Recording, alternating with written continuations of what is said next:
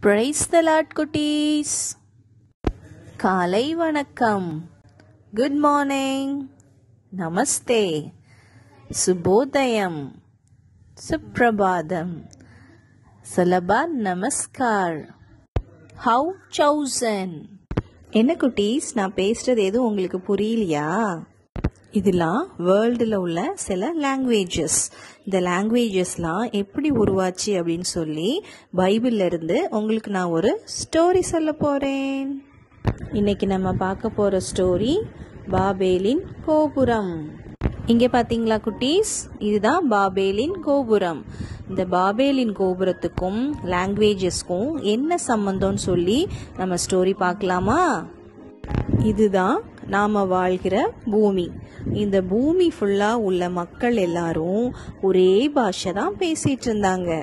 அந்த ஜனங்கள் எல்லாம் ஒரு நாள் கிழக்கு பகுதியிலிருந்து பிரயாணம் பண்ணிட்டு வரும் பொழுது அங்க சினையார் அப்படிங்கிற ஒரு தேசத்துல சம பூமியா இருக்குன்னு சொல்லி அந்த இடத்துல அவங்க குடிபெயர்ந்தாங்க.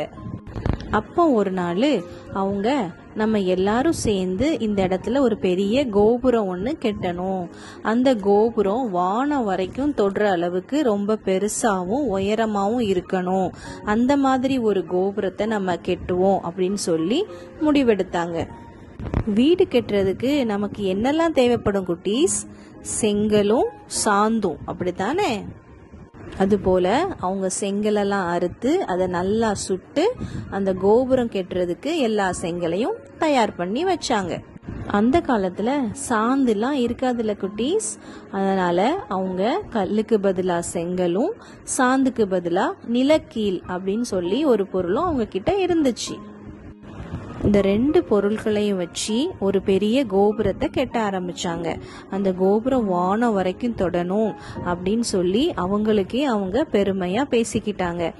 அதுக்கப்புறம் நம்ம தங்குறதுக்கு நமக்கு ஒரு நகரமும் வேணும். அதையும் நம்ம கெட்டுவோம்னு சொல்லி நமக்கு நாமே ஒரு பேர் உண்டாக்கணும் அப்படின்னு சொல்லி ரொம்ப பெருமையா அவங்க பேசிக்கிட்டாங்க.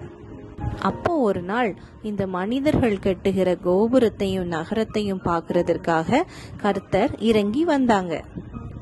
அப்பொழுது கர்த்தர் ஜனங்கள் எல்லாம் ஒரே கூட்டமா இருக்கிறதையும் அவங்களுக்குள்ள ஒரே பாஷை இருக்கிறதையும் அவங்க இந்த கோபுரத்தை கட்ட ஆரம்பிக்கிறதையும் கவனிச்சாங்க. ஆனா நம்ம இருதயங்களை அறிகிறவர் கர்த்தர். இல்லையா குட்டீஸ்? அவங்க என்ன தெரியுமா நினைச்சாங்க? நம்ம கோபுரம் கெட்ட ஆரம்பிச்சாச்சு. இன்னும் கொஞ்ச நாள்ல கெட்டி முடிச்சிருவோம். நம்மளை யாரும் தடுக்க முடியாது. நம்ம செய்ய நினைச்சதை ஒருத்தராலையும் தடை பண்ண முடியாது அப்படின்னு நினைச்சாங்க. அதனால கர்த்தர் இறங்கி போய் அவங்க ஒருத்தர் மத்தவங்க கிட்ட பேசும்போது அவங்க என்ன பேசுறாங்கன்னு சொல்லி புரியாத மாதிரி அவங்களோட பாஷையெல்லாம் கர்த்தர் மாத்தி போட்டாங்க. ஒவ்வொருத்தரும் வேற வேற பாஷை பேசும் பொழுது அவங்களுக்கு அது புரியாதுல்ல குட்டீஸ். அதனால அவங்களால கோபுரத்தை கெட்ட முடியல. கர்த்தர் அந்த ஜனங்களை பூமி ஃபுல்லா எல்லா இடமும் செதறி போக பண்ணிட்டாங்க.